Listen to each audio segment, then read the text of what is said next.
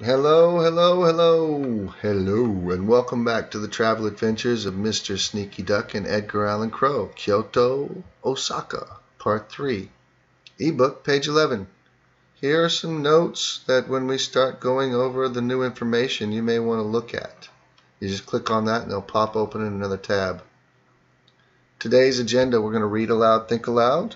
We're going to talk about what we learned last time briefly because it is very associated with what we're talking about today.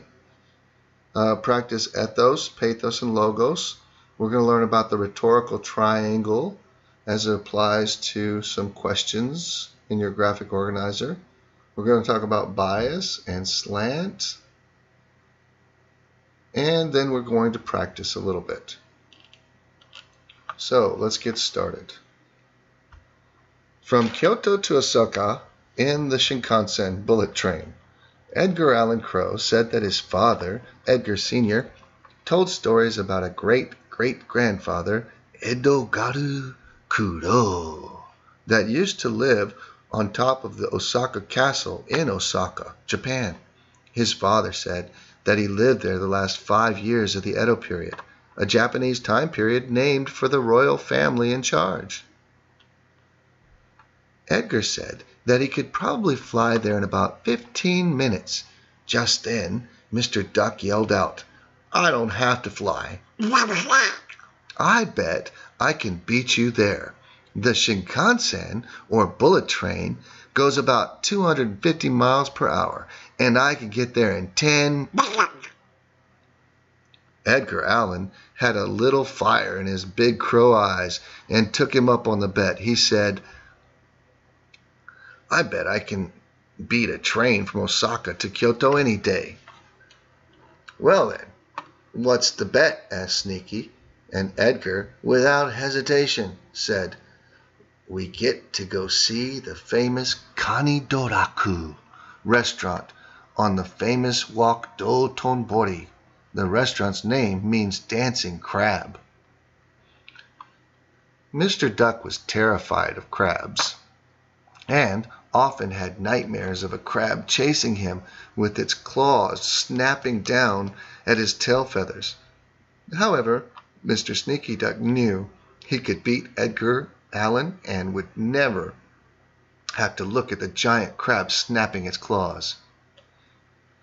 Mr. Duck agreed, but said that if he won, they would go to see the Kuidaore Taro, or the Drumming Clown, also famous on the Dotonbori Street in Osaka. Edgar Allan Crow was terrified of the drummer he said that it looked too much like the evil scarecrows people would put up to torment him in the cornfields of California. This is my wife, Yuki, and I, and there is the Kani, the crab. This is the crab that Mr. Duck is terrified to be near. Is the restaurant called Dancing Crab? So maybe you have to figure that out. In the quiz, however, let me give you a preview. There are claims everywhere here that you have to check. First, um, it says that his grandfather, Edogaru Kudo, would live on in the castle at the Edo period. First of all, was the castle there during the Edo period? When was the Edo period? And is it possible for a great great grandfather, maybe somebody in living in the 1800s, is that possible for them to be living there at that time? You have to research that.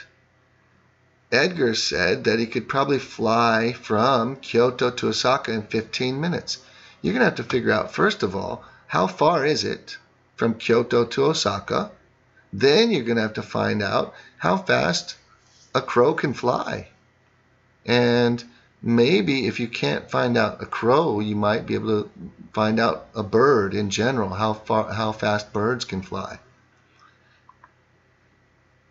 And he says that Shinkansen goes 250 miles an hour and can get to from Kyoto to Osaka in 10 minutes. Is that true? You're going to have to research that. The next thing it says that Kani Doraku means dancing crab. Is that true? You can research that. And I believe that's about it as far as the research goes. The research questions will be in the quiz and also some of these. We're going to talk a little bit more about ethos, pathos, and logos and get some practice. We're going to talk about something called soapstone and then bias and slant. All right, so let's look and see what we talked about last week or last time. We talked about these questions you have to ask yourself. Who wrote it? Where did it come from? What's the text trying to get me to do? What's missing? And what's the perspective? Well, these are from the notes last time if you want to look in chapter, um, uh, page 10 notes. So you ask yourself that anytime you look at a new text, which means video, article, even music. Then we went down and we talked about self-interest and how people usually uh, speak for themselves and their own interests when they're talking or when they're writing. They wouldn't, I mean, why would you talk for somebody else's interest? Sometimes people do because they're nice, but usually it's for your own interest that you give your opinion. And what is rhetoric? Rhetoric is convincing people through speaking or writing.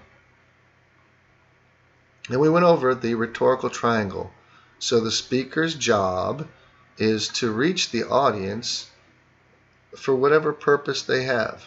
So you have a, a, relationship between the speaker, the audience, and the message.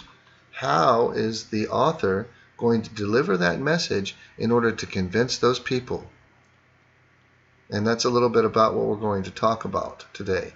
Ethos, remember, is trying to convince people because you are qualified or you have experience. Pathos is trying to use emotion to get people to do what you need them to do or believe what you want them to believe or buy what you want them to buy. Logos is using logic.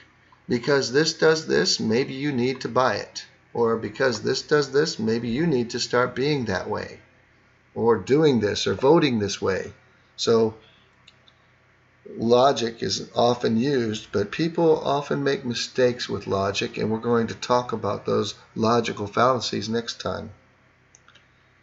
So let's try some practice. As it says here, we're going to practice ethos, pathos, and logos. I'm going to show you some short videos, and what I want you to do is quickly try to determine what they're using mostly. Are they using mostly ethos? Are they using mostly pathos or logos to convince you to do something? Let's look at this one first.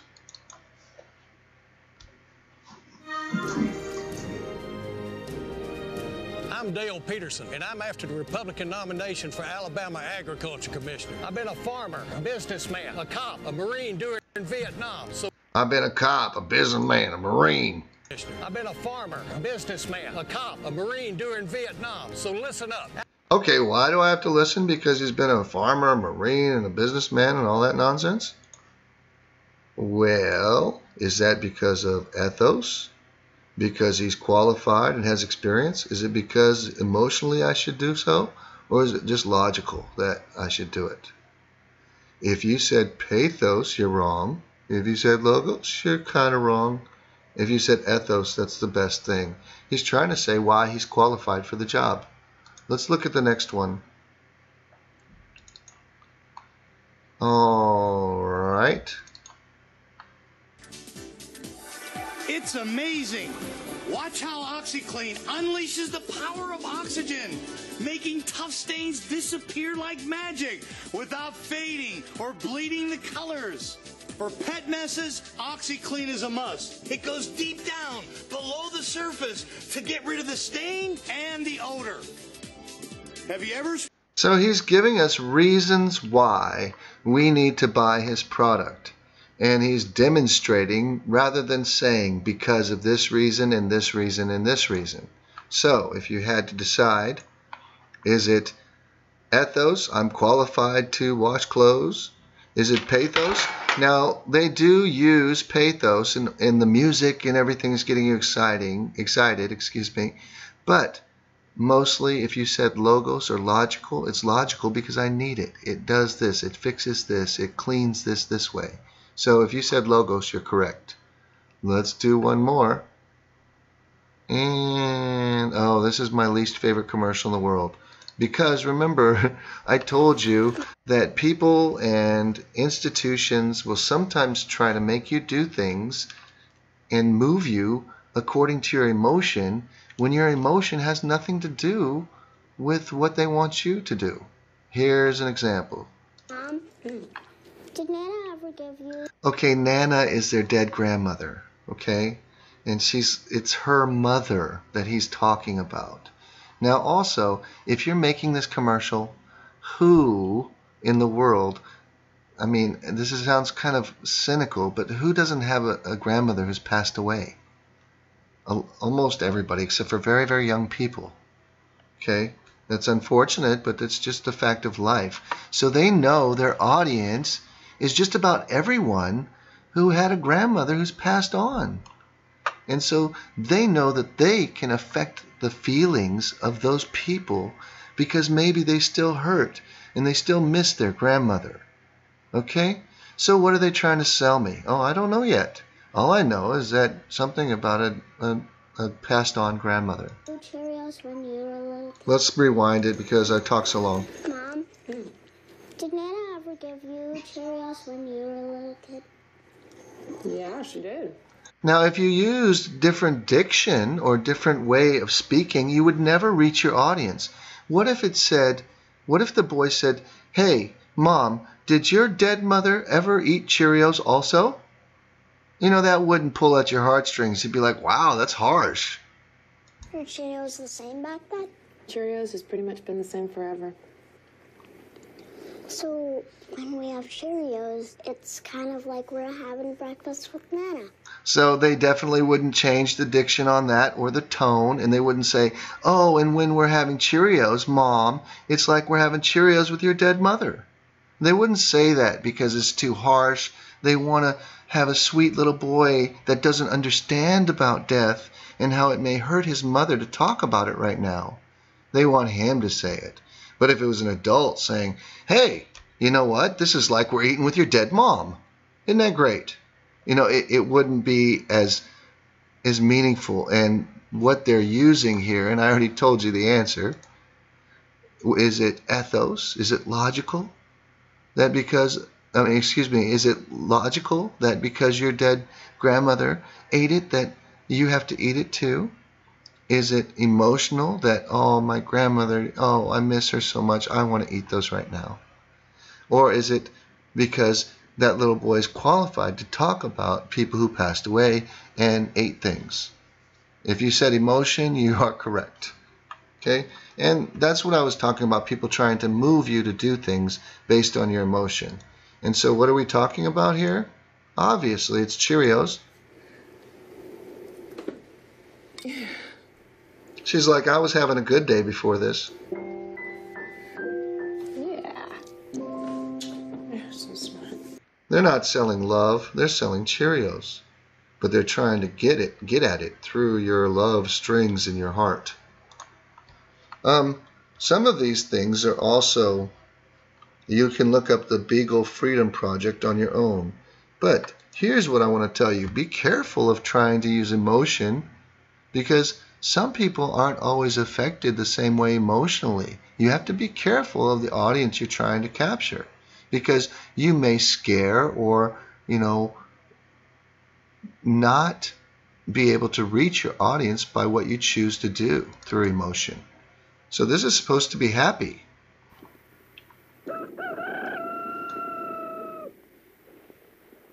Ah! What? Oh my gosh. I'm hungry. What?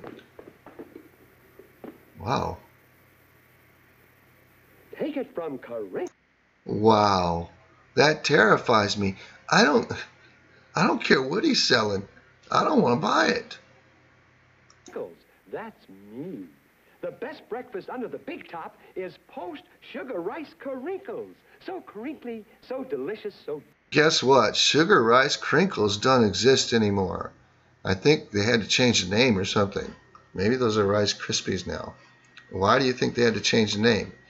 Maybe they scared more people than they helped. You know, yeah, come get it. And it scares away all the children. So be careful of the pathos that you use to try to reach your audience. Let's move on. What is bias? Let's look at the notes, and you can click click them open if you haven't already. Bias is prejudice in favor or against one thing or person or group. Not really. I mean, if you look at it in real life, it's leaning one way completely or leaning the other way completely. It, let's say, let's talk about the election.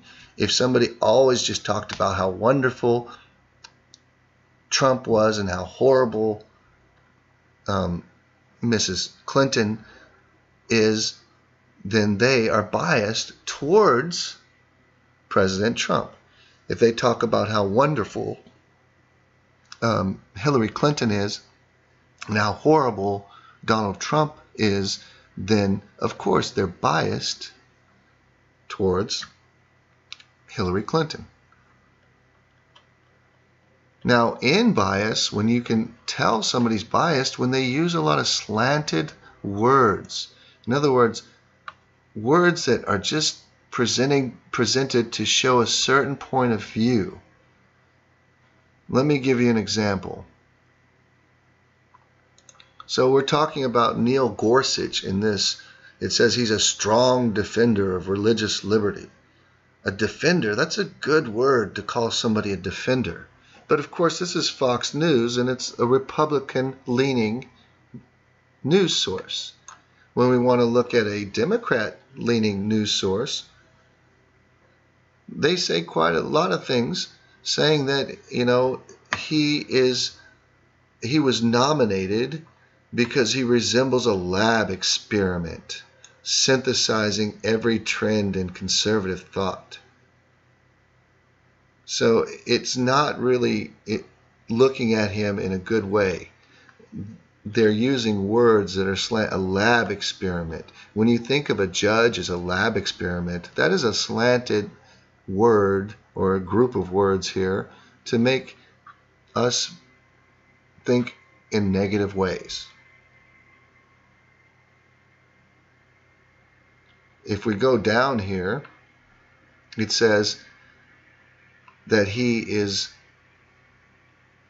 pro abortion rights.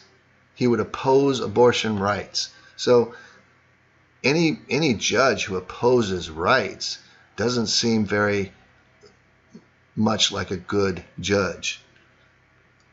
These are slanted. They're not extremely slanted, but they're slanted.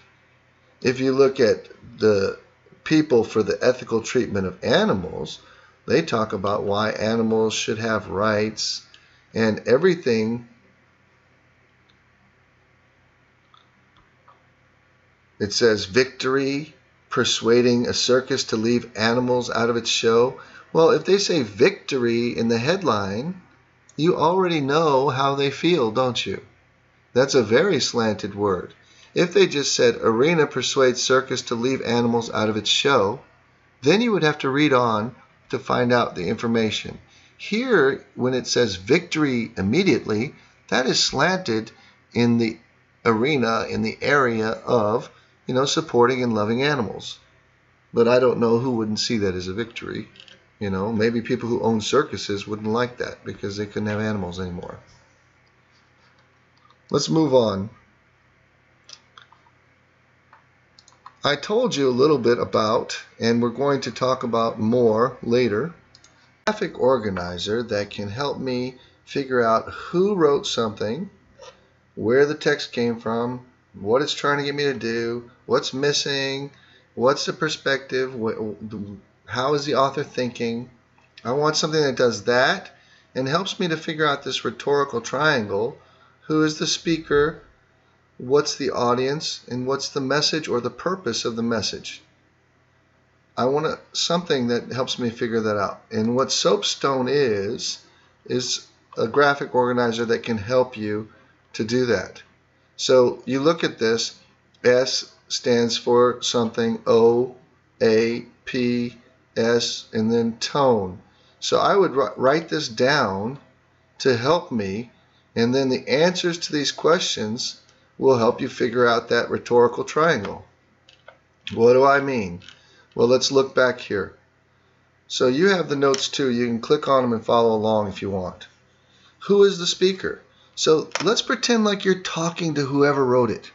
This is what you're going to ask them and how you're going to try to figure it out. Who are you? What details will you reveal? Why is it important that the audience know who you are?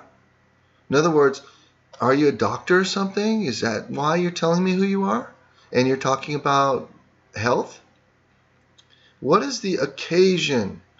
The occasion for birthday cake and ice cream is your birthday.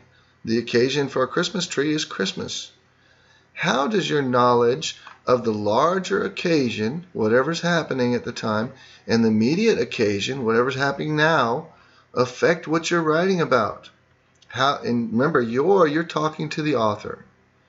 You're trying to get these questions answered. Who is the audience? What are the characteristics of your audience? Are they younger? Are they older? Are they professional? Are they Democrat? Are they Republican? Are they pro life? Are they pro choice? What is your group? How are they related to you? Are you their teacher? Are you their servant? Why are you addressing them? This goes into the purpose as well. So, how would you explain yourself as an author? How would you like your audience to respond to this? What do you want me to do because of what you are saying? What purpose are you writing this for or saying this? How do you want to affect me as a reader or listener? What's the subject? This is really just a few words usually. What are you talking about? talking about freedom. I'm talking about equality. And what's the tone? What does that mean? What's your attitude, Mr. Writer or Speaker? How do you feel about what you're talking about? Um, and how do your attitudes, you know, affect the way that you're talking about them? Are are you slanted or biased? And then you can look at a few words or phrases that show how their attitude is. So those could be slanted words, or they could be just words showing emotion or an opinion one way or the other. So you write these things down and you remember what they mean. Soapstone, S, speaker, O, occasion, A, audience, P, the purpose of the piece, S, the subject, and T, what's the tone? How are they talking? Don't forget that this is also diction. Diction is how you talk to people in certain categories, in certain ways. You don't talk to your friends the same way as you talk to the principal. Neither do I. Um, so that would be your diction. Um, syntax sometimes is the way that um, your sentences are. Are they very short or long sentences? Sometimes the short sentences, the author or the speaker is talking about things that aren't so important. And with long sentences, they're talking about things that are more important. So as you practice doing this, you'll start to get to do it a lot better. So I urge you to practice this when you do read any kind of article or news article or watch a video that's trying to give you some information.